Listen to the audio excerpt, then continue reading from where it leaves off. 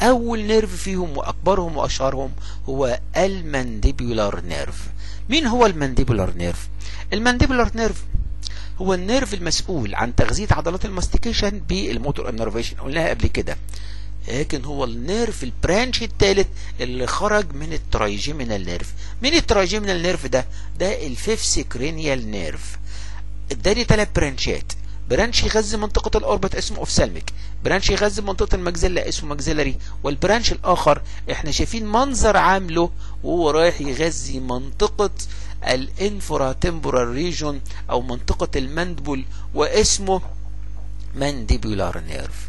ال mandibular nerve ده المنظر ده هيوريني الشكل العام له ال beginning البداية ثم ال course بتاعه. زي ما إحنا شايفين من البداية بتاعته ده branch طالع من ال trigeminal nerve دخل هنا من ال foramen ovale ومشي مسار في قلب ال infratemporal region ده كان منظر عام roughly ك surface anatomy لما نيجي نتعرض له بعد كده تعالوا نشوف الكلام على ال mandibular nerve هيكون إزاي. ال mandibular nerve البداية بتاعته. بيتكون من large sensory root جاي من ال trigeminal nerve و small motor root هو أيضا من ال trigeminal nerve ال two roots يتحدوا مع بعض ويدخلوا من بوابة.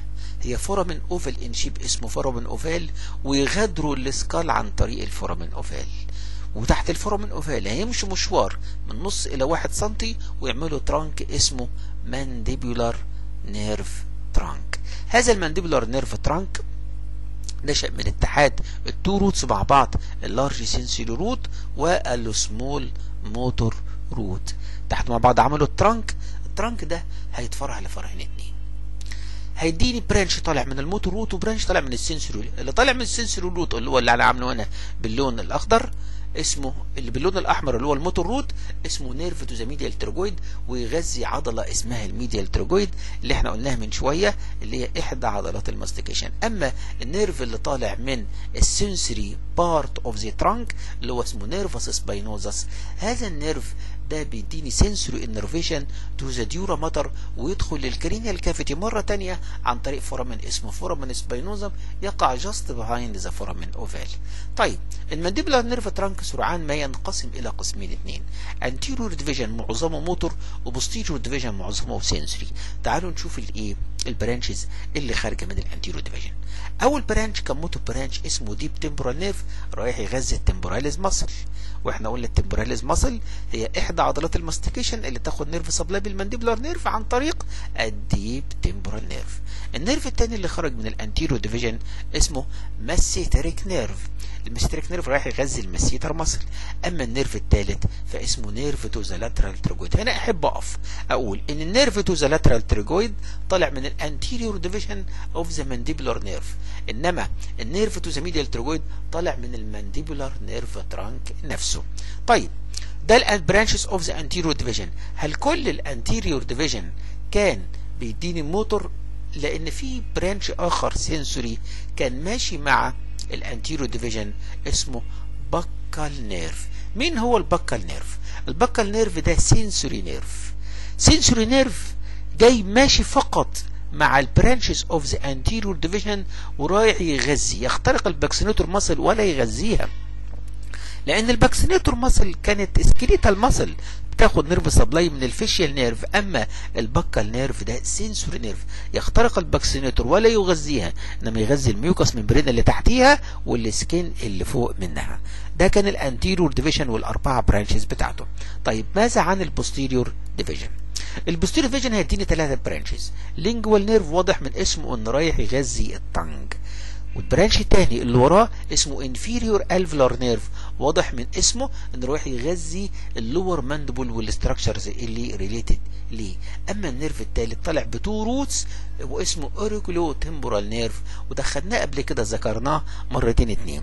مرة مع ال face ومرة مع ال scalp لأن ده من ال sensory nerve supply of the face and scalp نلاحظ إن ال posterior division كان معظم branches ته sensory طيب ما ال anterior division كانت معظم branches ته motor ما عدا واحد بس فال posterior division هو كمان بالمثل هيقول أنا عاوز واحد موتور branch من ال anterior division فهياخد هنا motor branch يمشي مع ال inferior alveolar اسمه nerve to the mylohyoid بيغذي إحدى العضلات اللي خارجة من ال first pharyngeal arch وبتشكل ال floor of the mouth واسمها mylohyoid muscle هذه ال branches بصفة عامة الكلام عنها بصفة عامة. آه نتكلم بعد كده بالتفصيل على كل nerve لكن أحب أذكر قصة إنسانية تفكرني بهذه ال branches اللي خارجة من ال mandibular nerve. إذا حبينا ده إحنا قلنا قبل كده دلوقتي حالا قلنا القصة العلمية إن هو small motor root و لار small sensory motor root و large sensory root وإزاي اتحدوا مع بعض. ده الكلام العلمي. إنما لو حكينا عليها على قصة من الحياة لو تخيلناها فيلم سينمائي هنقول إيه؟ هنقول نحكي قصة ال mandibular nerve كقصة فيلم سينمائي. لو قلنا إن ال sensory root وال motor root ولد وبنت ارتبطوا ببعض مثلا في مرحلة الكلية. البنت تخينة شوية عن الولد والولد بيبقى رفيع فالبنت اللي هي ال sensory root وكلها أحاسيس والولد اللي هو ال motor root كله حركة ونشاط. طيب هم فقراء لأنهم لسه في الكلية ما لقوش شقة قالوا نتجوز في بيت الأسرة.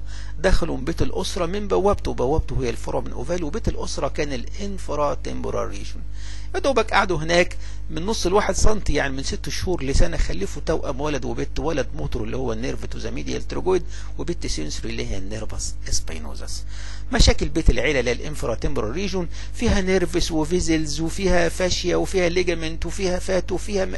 زي بيت الأسرة في عمات وخالات واخوات عملوا مشاكل سرعان ما تسببهم في طلاق. مين؟ طلاق الأسرة الصغيرة اللي هي بتمثل الزوجين اللي هو ال mandibular nerve trunk. هينفصلوا إلى إيه؟ إلى الأب هيمشي بيطلع من قدام ويبقى هو ال motor division أو ال anterior division والأم اللي هي ال sensory division أو ال posterior division هو هيروح يتجوز واحدة تانية ويخلف خلفته كلها صبيان motor nerves اللي هو ال deep temporal وال masseteric وال nerve pterygoid لكنه ما زال بيحب الحب الأولاني اللي هي زوجته الأولانية فياخد حاجة بس من ريحتها كده حاجة sensory اللي هو ال buccal branch وهي انفصلت عنه ومشيت من ورا البيت راحت posteriorly وأعطتني ال branches بتاعتها اتجوزت وعملت أولاد تانيين وكانت معظمهم بنات و sensory nerves اللي هم ال lingual nerve وال inferior alveolar وال auriculotemporal لكن لأنها ما زالت لسه فاكرة العشرة القديمة فخد اخذت ولد من ريحة جوزها الأولاني اللي هو ال anterior division اللي هو ال nerve to the mylohyoid muscle. في الشريحة اللي جاية هنتكلم بعد كده بالتفصيل عن هذه ال branch. دلوقتي إحنا نتكلم على بعض من ال big branches of the mandibular nerve فنبتدي بال lingual nerve اللي هو اللسان العصب اللي رايح يغذي اللسان وما حول اللسان.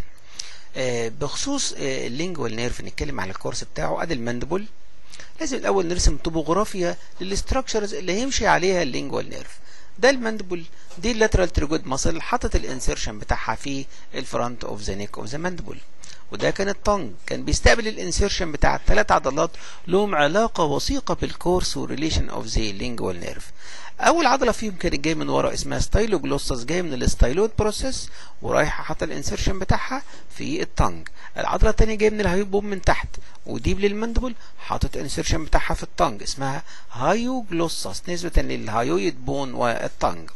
العضلة الثالثه جاية من ال mandible وشكلها fan shape ورايحة لل anterior part of the tongue واسمها genioglossus ديت هي الأرضية اللي هيمشي عليها ال lingual nerve. ال lingual nerve كان أحد ال branches الكبيرة اللي طالعة من ال posterior division of the mandibular nerve ال mandibular nerve دخل ال infratemporal fossa من ال foramen ovale دخل deep لل lateral pterygoid muscle انقسم إلى posterior division و anterior division.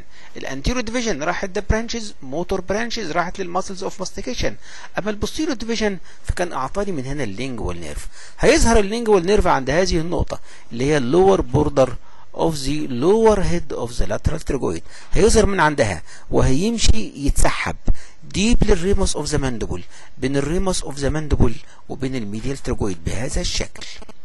ثم يمشي. يمشي.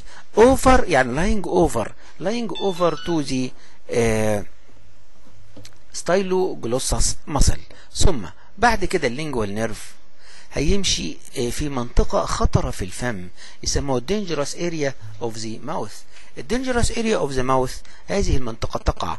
medial تقع على ال medial side of the lower third molar tooth بين ال mucous membrane وبين ال bone. علشان كده في هذه المنطقة مهم قوي إن دكاترة الأسنان إنهم ياخدوا بالهم أثناء عملية ال tooth extraction بعد كده ال lingual nerve هيمشي يعدي على ال hyoglossus muscle ثم يدخل في الممر الفاصل بين ال hyoglossus وال genioglossus علشان يغذي ال anterior two thirds of tongue ويشيل منه جنرال سensation بس كده لا ده في حاجة تانية.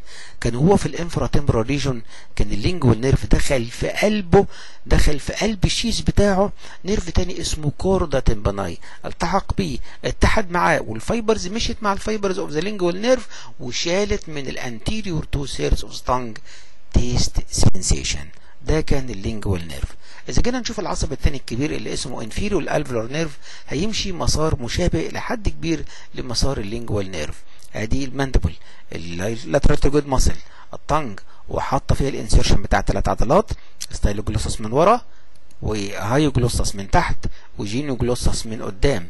ده ال mandibular nerve برضه مشي نفس ال course ال posterior division بتاعه كان قاعد deep لل lateral pterygoid muscle يعني ماشي على ال medial surface بتاعها. من ال posterior division هيخرج ال inferior alveolar nerve هيظهر عند هذه النقطة وهذه النقطة هي ال lower border of the lower head of the lateral pterygoid.